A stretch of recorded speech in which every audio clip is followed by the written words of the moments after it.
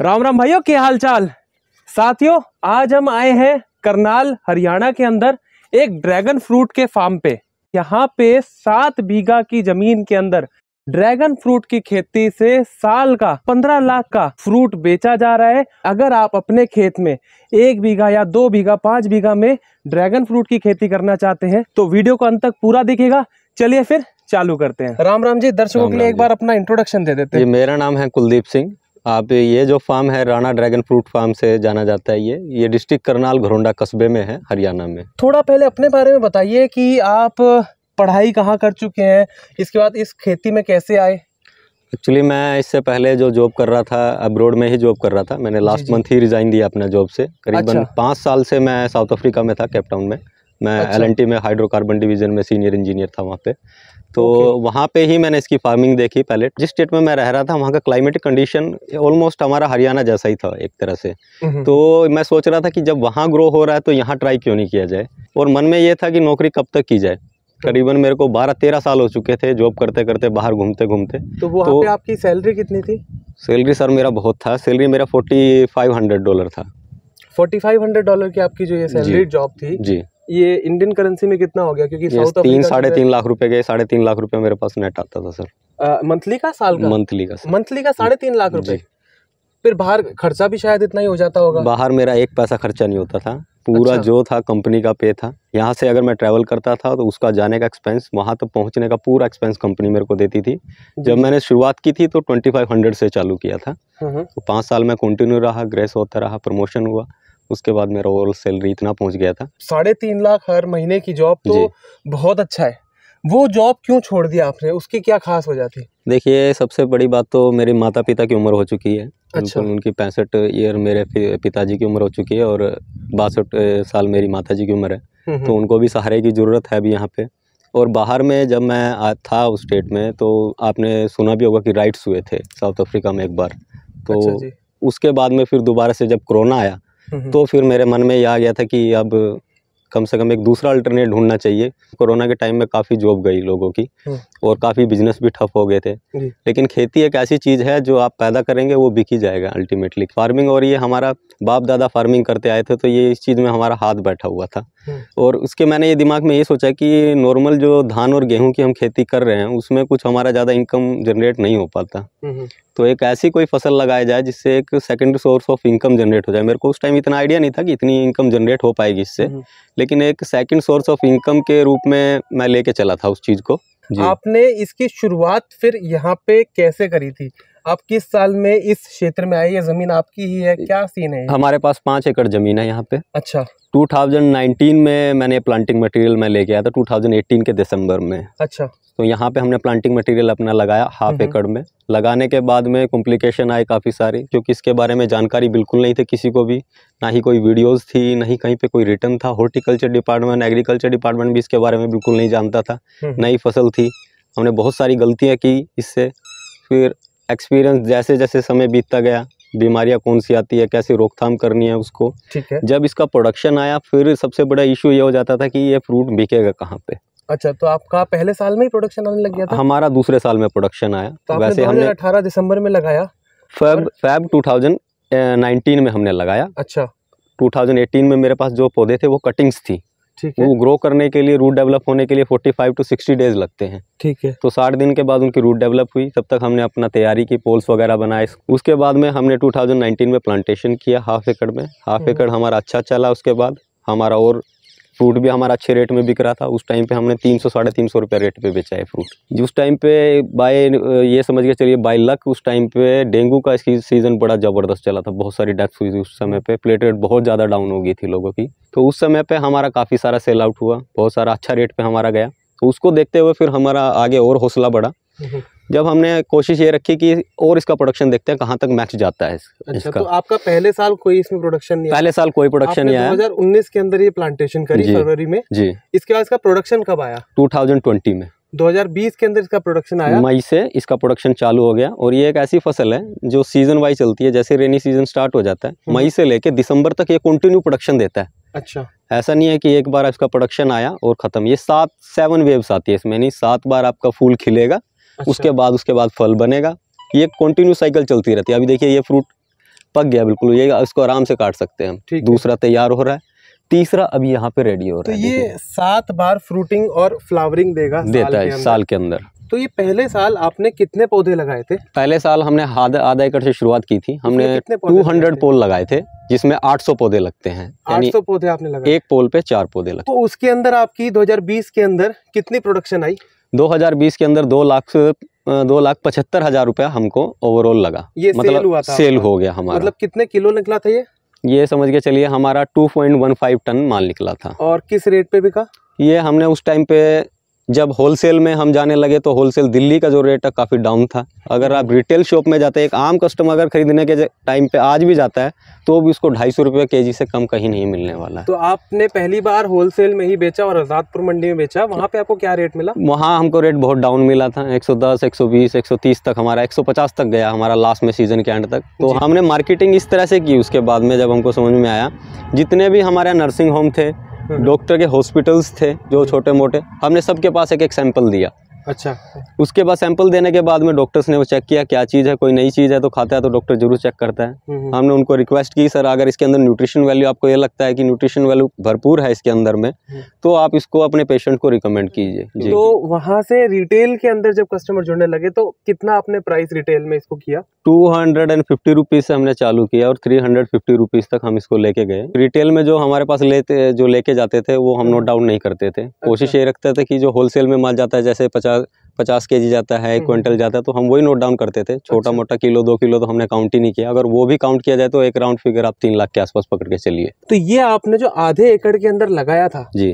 2019 में उसकी initial costing क्या पड़ी थी? हमारा जो ओवरऑल खर्चा माना जाए तो दो लाख पंद्रह हज़ार के राउंड फिगर में दो लाख बीस हज़ार पकड़ लेता हूँ। दो लाख बीस हज़ार का बाइफ्रिकेशन क्या रहा होगा? जैसे कि पोल का एक मेजर कॉस्टिंग है इसमें- जो प्योद है इसमें पोल का जो खर्चा था वो आप पकड़ के चलिए कि ओवरऑल ओवरऑल कैलकुलेशन का इसका पोल का खर्चा सत्तर परसेंट रहता है। अच्छा। क्योंकि ये बिना पोल के ये पौधा चलता नहीं है। डेढ़ लाख के करीब?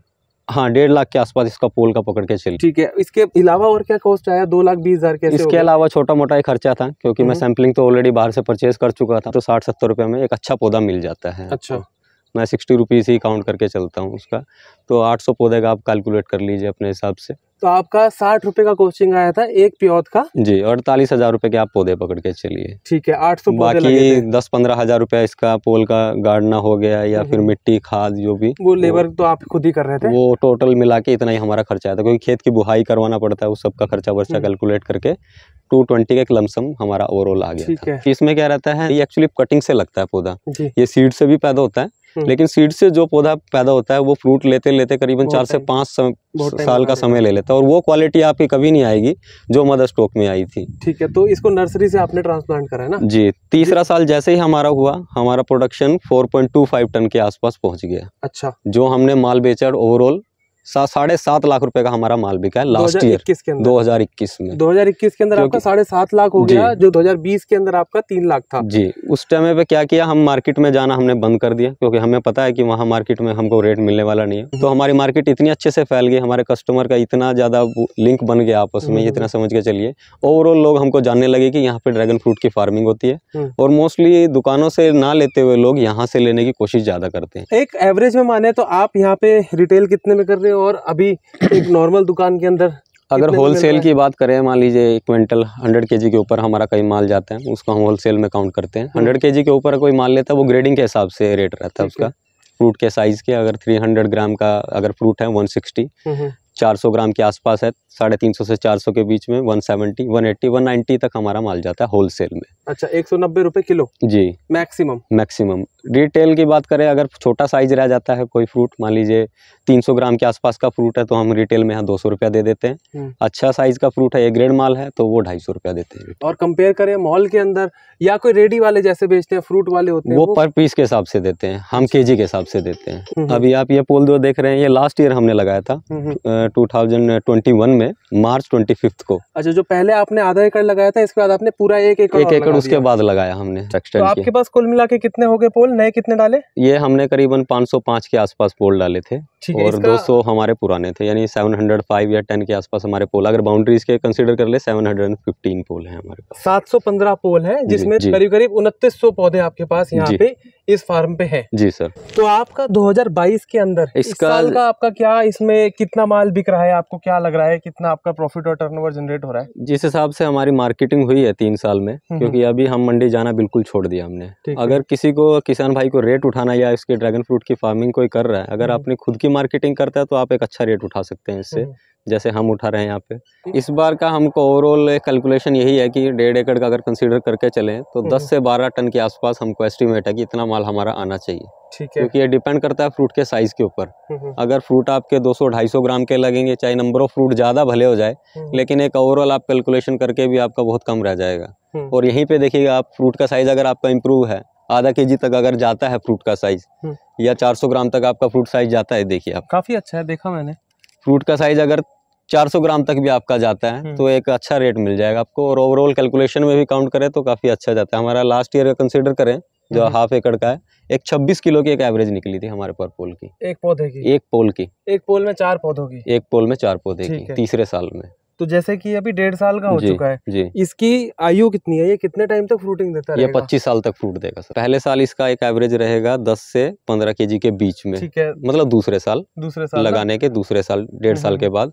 तीसरे साल में ये एवरेज आपका 20 से 25 केजी। हम्म। फोर्थ ईयर जैसे ही आएगा वो 30 केजी तक पहुँच जाएगा। हम्म, उसके बाद 30 35 में आपका एक सर्कल बना रहेगा क्योंकि आप इसके धीरे धीरे प्रूनिंग करते रहेंगे इसकी मेंटेनेंस करते रहेंगे। हम्म। रफली एक चौथा साल का आपका एक एक एकड़ का फार्म हो गया तो हम्म। आपको 10 टन का एक एवरेज आप पकड़ के चलिए कि 10 टन माल आपका निकलेगा ही निकलेगा। हर एकड़ से? हर एकड़ से अगर आपके पौधे की ग्रोथ अच्छी है कैनोपी फुल हो गई है तो। दूसरा आप इसमें एक और अच्छी अच्छी बता रहे थे कि ये जैसे हम टमाटर की खेती करते हैं जी। या कुछ भी और ऐसी खेती करते हैं जिसमें पेरिशेबिलिटी का बहुत ज़्यादा प्रॉब्लम रहता है। जी जी। कि आज हार्वेस्ट हुआ है तो कल तक बेचना पड़ेगा। जी जी। यहाँ पे आपको ये चीज़ अच्छी मिल रही है कि आप जब अपने चाहे जब ऑर्डर आया आपके पास जब कन्वीनियंट हुआ तब आपने हार्वेस्ट कर ली क्योंकि ये पेड़ पे भी ज़्यादा टाइम तक रुक जा रहा जी है। जी जी। और तोड़ने के बाद भी पंद्रह दिन तक दो हफ़्ते से ऊपर की इसकी जी, जी। शेल्फ लाइफ है खराब नहीं हो रहा नहीं होता सर। तो इसमें आपका क्या यही कुछ वजह थे जिसकी वजह से आपने इसकी खेती चालू करी? ये पौधा एक ऐसा पौधा है जो इतना लंबे समय तक फ्रूट देता है। ऐसा मेरे हिसाब से मैं जहाँ तक मेरी नॉलेज है ऐसा कोई पौधा नहीं है जो लगातार पाँच से छः महीने आपको फल दे दे। अच्छा। मैक्सिमम कोई भी फ्रूट ले लीजिए आप एक से डेढ़ महीने में वो खत्म हो जाता है पूरा उसका हार्वेस्ट हो जाता है। हम्म, हम्म, लेकिन ये पौधा ऐसा है कि आपको मई या जून से स्टार्ट होता है जून से कंसीडर कर लेते हैं। जून से स्टार्ट होकर दिसंबर जनवरी के पंद्रह तारीख तक ये फ्रूट देता रहता है कंटिन्यू अच्छा, यानी पाँच से छः महीने।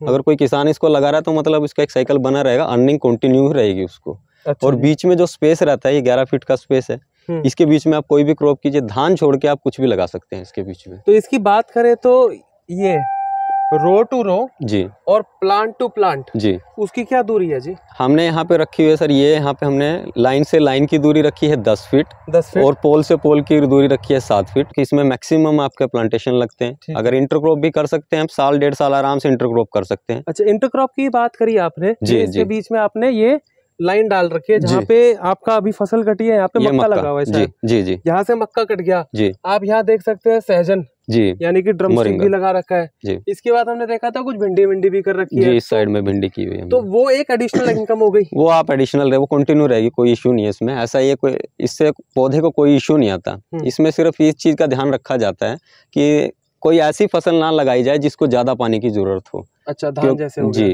धान ही आप इसके बीच में नहीं लगा सकते हम्म। क्योंकि इसको पौधे को बहुत कम पानी की ज़रूरत रहती है। हम्म, रेतीले इलाकों का पौधा है जैसे कि डेजर्ट के अंदर होता है सैंडी सोइल रहेगी तो बहुत बेस्ट है इसके लिए। जी तो पानी ज़्यादा होने से फंगस वगैरह की बीमारी आ जाती है तो इसमें बीच में भी आप खेती कर सकते हैं और वो आपका एडिशनल इनकम ही है। एक तरीके से आधा खेत आपने ड्रैगन फ्रूट को दिया बाकी आधे खेत पे आप अपनी सब्ज़ियाँ वगैरह भी बो सकते हैं। तो इसका एक स्टार्टिंग से लेकर एंड तक एक पूरा इसका मेरे को वो बताइए कि कब लगाया जाता है कैसे लगाया जाता है फ्रूटिंग कब आती है पोल का क्या हिसाब है? तो एक फ्री हैंड से ए टू जेड जानकारी ड्रैगन फ्रूट की फ़ार्मिंग की। इसका जो लगाने का समय रहता है वो हम्म। रहता है आपका फरवरी से मार्च अच्छा या अच्छा फिर लगा सकते हैं दूसरा जो समय रहता है वो आपका जून पंद्रह से लेके अगस्त फ़र्स्ट वीक तक। यानी टेम्परेचर जब भी आपका फोर्टी के नीचे स्टेबल हो जाए हाँ तब आप लगा सकते हैं।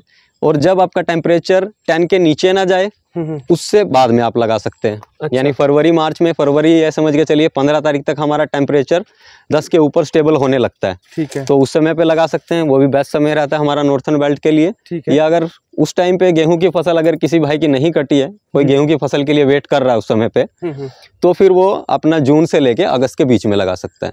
आप इसको किसी भी ज़मीन पे लगा सकते हैं। जहाँ पे वाटर लॉगिंग ना हो मतलब पानी खड़ा ना हो खेत में वहाँ छोड़ के आप इसको कहीं पे भी लगा सकते हैं। मतलब खेत जो है आपका, बारिश होने के बाद 12 घंटे के अंदर अंदर पानी का निकासी हो जानी चाहिए, ज़मीन को पानी पी लेना चाहिए। अगर पानी खड़ा रह गया, जैसे चीकनी मिट्टी में होता है वहाँ पे ये सक्सेसफुल नहीं। होगा। जी मिट्टी की जाँच ज़रूर करवाएँ। अगर साइंटिफिक वे में जाएँ तो ये हल्की एसिडिक सॉइल इस पौधे को बहुत अच्छी लगती है। हम्म, हम्म, अगर आपकी पीएच वैल्यू साढ़े पाँच से लेके सात के बीच में है तो दी बेस्ट है इसके लिए।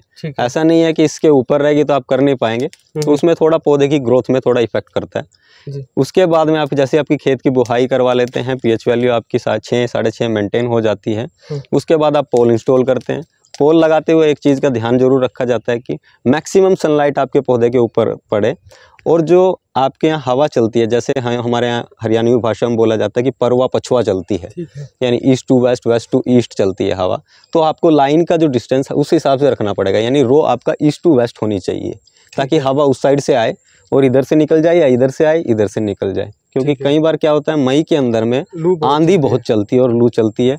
तो उससे पोल के ऊपर इम्पैक्ट करता है और ये पौधा सहारे पोल के सहारे चलता है। इससे हम्म। डैमेज होने की काफ़ी संभावना हो जाती है। जैसे ही आपने फरवरी मार्च में प्लांटेशन किया हम्म, अगस्त आते आते ही आपका जो पौधा है चार आपने पौधे लगाए एक एक हर साइड में पोल के वो आपका रिंग तक पहुँच जाएगा। ठीक है। रिंग के पहुँचने के बाद रिंग से जब जैसे ही वो एक फीट क्रॉस हो जाता है हम्म, उसको फ़र्स्ट प्रूनिंग किया जाता है वहाँ पे। फ़र्स्ट प्रूनिंग करने के बाद में आप देखेंगे जहाँ से आप प्रून करेंगे प्रून कहाँ से किया जाएगा ये रिंग जो है हम्म, रिंग से एक इंच ऊपर छोड़ के आप उसको प्रून कर दीजिए चारों चारों पौधे को।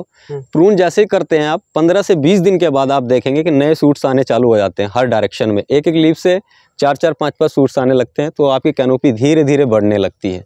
ठीक है इसमें एक एकड़ के अंदर खर्चा कितना आ जाएगा अगर आज का कैलकुलेशन किया जाए क्योंकि अभी सब चीज़ के रेट बहुत बढ़ चुके हैं हम्म। क्योंकि इसमें मैक्सिमम जो खर्चा है सत्तर परसेंट वो पोल का ही खर्चा है अगर आप खुद से बनाते हैं ये पोल और रिंग अगर। खुद से बनाते हैं तो आपका सिक्स हंड्रेड रुपीज़ में कवर हो जाएगा एक पोल एक पोल और ये रिंग दोनों।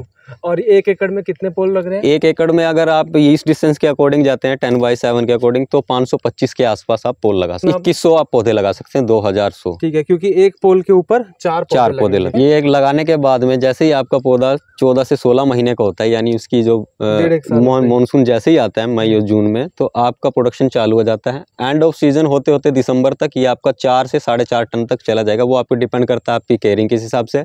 कहीं कहीं पे ये पाँच से छः टन भी चला जाता है। पहले है ही साल के अंदर पहले मतलब साल- दूसरे साल दूसरे के अंदर। साल के अंदर। फिर भी एक लमसम हम पकड़ के चलते हैं कि डाउन में ही फोर टन के आसपास ये निकलना चाहिए। दूसरे साल में। जी जैसे हमने हमारा कंसिडर हम अपना ही कंसिडर करते हैं। डाटा आपका जी हमारे डाटा के हिसाब से हमारा सवा दो टन निकला था दूसरे साल में। हम्म। हम इसको दो टन ही पकड़ के चलते हैं। तीसरे साल में आपका प्रोडक्शन जाएगा छह से लेके आठ टन के बीच में। अच्छा। चौथे साल में आपका दस टन पे स्टेबिलिटी आपको स्टेबिलिटी आ जाएगी फिर आपको अगले 20 एक साल तक हर साल लगातार 10 टन एक दस टन तो मिनिमम पकड़ के चलिए प्रोडक्शन चलती रहेगी। और इसका रेट मंडी का माने तो 110 रुपए 20 रुपए 30 रुपए से लेकर 150 रुपए तक जाता सौ है पचास तक जी। और अगर आप इसे डायरेक्ट कस्टमर तक मार्केट कर रहे हैं तो आपका ये टू फिफ्टी से लेकर थ्री हंड्रेड तक चला जाता है। ढाई सौ से लेकर 300 तक चले जाता है। जी। अगर आप मंडी के रेट में भी और 125 रुपए के हिसाब से भी बेच रहे हैं तब भी आपका 12 लाख का हो गया। जी।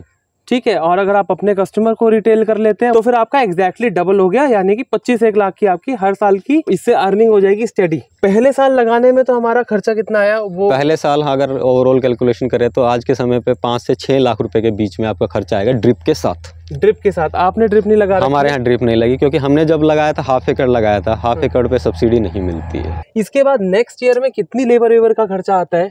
और कितने का हमारे को ये तो कैलकुलेट हो गया कि ये दस टन माल दे रहा है जिसके हिसाब से साढ़े बारह लाख से लेकर पच्चीस लाख का बिक रहा है। जी। तो इसमें हर साल फिर इसमें कॉस्टिंग क्या लगेगी? मेंटेनेंस मेंटेनेंस सर इसमें एक छोटी सी मेंटेनेंस है आप यहाँ देखिए पूरे फ़ील्ड में आपको खरपतवार दिखाई नहीं देगा। हाँ जी हाँ यही इसकी मेंटेनेंस है खरपतवार हमको निकालना पड़ता है। अच्छा, और ये समझ के चलिए कि तीन से चौथे महीने में हम इसमें खाद डालते हैं एडिशनल जो हमारी वर्मी कंपोस्ट होगी या फिर जो काउडंग। मैनुअर हो। गया वो नॉर्मल खाद है।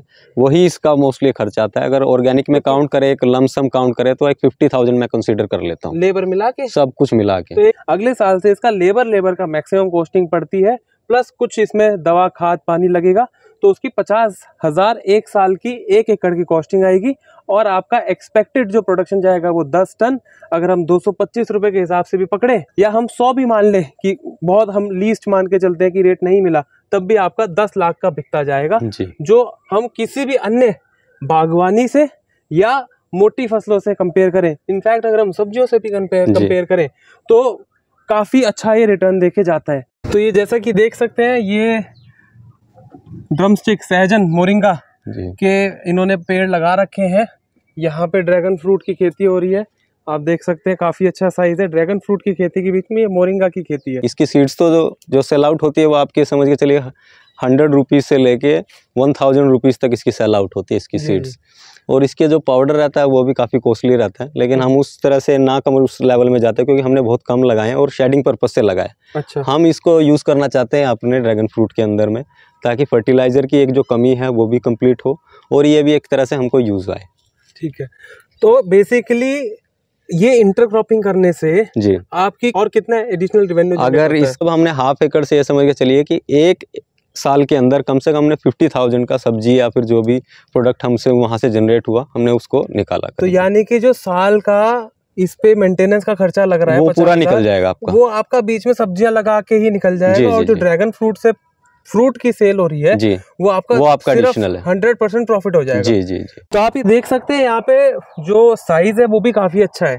और इसको हार्वेस्टिंग करने का क्या तरीका रहता है? क्योंकि हाथ से ऐसे तोड़ने से तो टहनी टूट नहीं टूट जाएगी डैमेज हो जाएगी। ये कटर रहता है इससे। हाँ जी हाँ जी। ये कटर से आप ये देखेंगे ये मेन स्टेम के साथ जुड़ा रहता है यहाँ अच्छा। ये कि यहाँ से एक तरह से समझ इसका ये हड्डी रहता है हम्म, हम्म, जो यहीं से इसको कट किया जाता है ताकि अच्छा। ये मेन स्टेम भी डैमेज ना हो और ये भी फ्रूट भी डैमेज ना हो। तो इसको इस हिसाब से कट किया जाता है। अच्छा। ये देखिए ये भी डैमेज नहीं हुई जी जी। और ये आपका फ्रूट भी डैमेज नहीं हुआ। ठीक है और इसका साइज़ आई थिंक 400 ग्राम से ऊपर ही लग रहा है मुझे अभी। 400 ग्राम ही पकड़ के चलिए क्योंकि इसके अंदर वेट ज़्यादा होता है। यहाँ पे हमने ये तो देख लिया कि साइज़ बहुत अच्छा है। मैं देखना चाह रहा हूँ कि ये मीठा कितना है। तो ये काट के देखते हैं। आप ही काटिए आप ही खाए। बर्थडे कट रहा है भाई।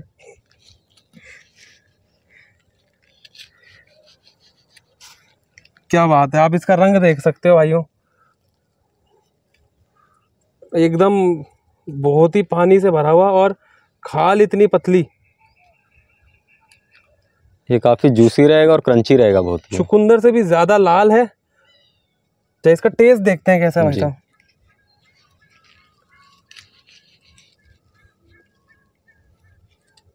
क्योंकि शादियों के अंदर जितने अक्सर खाए ना उनमें टेस्ट मिलता नहीं है मिठास नहीं, इसका ब्रिक्स लेवल अच्छा है क्योंकि यहाँ ये समझ के चलिए इंडिया के अंदर पूरा हम मैच्योर करके फ्रूट कट करते हैं और जब बाहर अब्रोड से फ्रूट आता है वो हमारा ये मैच्योर नहीं रहता वो क्योंकि ट्रांसपोर्ट में रहेगा काफ़ी समय तक। तो वो एकदम उसको ये समझिए ग्रीन स्टेज में ही कट कर लेते हैं। बहुत ही ज़्यादा मीठा है। और मैं बता नहीं सकता सही में बहुत मीठा है और इसका कोई भी कस्टमर आराम से ढाई सौ रुपये किलो से ऊपर तो दे ही देगा इनफैक्ट मैं खुद चार पाँच किलो अभी यहाँ से खरीद के जाऊँगा। बहुत अच्छा है यार। पूरे देश भर में हॉर्टिकल्चर डिपार्टमेंट के द्वारा अलग अलग स्टेट्स के अंदर सब्सिडी रहती है।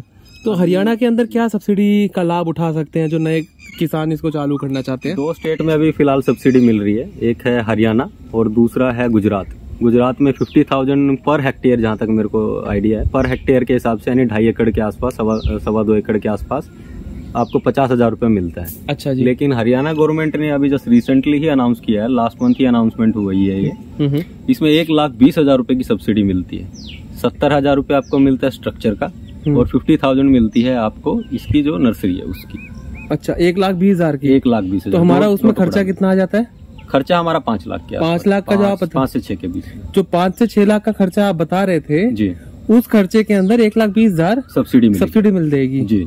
उस सब्सिडी मिलने का कुछ पीछे वो भी है कुछ अप्रूवल लाइसेंसिंग या कुछ उसके नॉर्म्स भी रहते हैं? उसका नॉर्म्स कुछ नहीं रहेगा जो आपको एक उनकी वेबसाइट है हरियाणा गवर्नमेंट की हॉर्टिकल्चर की आपको उस पर अप्लाई करना होगा। माई फ़सल माई ब्यूरो एक दूसरा वेबसाइट है उस पर रजिस्ट्रेशन करना। खाली रजिस्ट्रेशन का ही थोड़ा है। रजिस्ट्रेशन फ्री ऑफ़ कॉस्ट है रजिस्ट्रेशन कर सकते हैं। तो सब लाल हो गया खा खा के। उंगली से छूटेगा नहीं कलर आ हाँ, जाएगा। एकदम चुकंदर की तरह है। तो साथियों उम्मीद करते हैं कि आपको आज की ये ड्रैगन फ्रूट पे इन्फॉर्मेटिव वीडियो पसंद आई हो। अगर वीडियो पसंद आई है तो यार लाइक कर दो वीडियो को और अगर आप पहली बार चैनल पे आए हो तो सब्सक्राइब कर दो। साथ में ये नोटिफिकेशन की घंटी दबा देना। तो जल्दी मिलते हैं साथियों अगली वीडियो के साथ। तब तक ध्यान रखिएगा। जय हिंद जय जवान जय किसान। राम राम।